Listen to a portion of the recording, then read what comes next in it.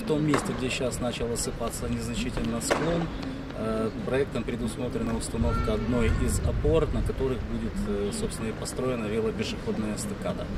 Для того, чтобы эту опору построить, нам необходимо было разобрать э, существовавший на тот момент там террасу и разработать так называемый котлован для производства работ. Также потребовалось немного срезать склон, абсолютно незначительно. Но при вскрытии всех этих дел оказалось, что склон состоит из неоднородных грунтов. Э, Проектом изначально подразумевалось там устройство подпорной стены, потому что понимали, что это придется делать.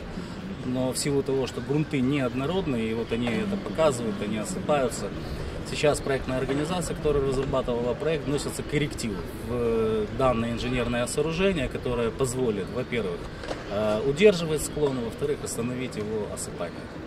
Собственно, пока никаких критических угроз мы не видим.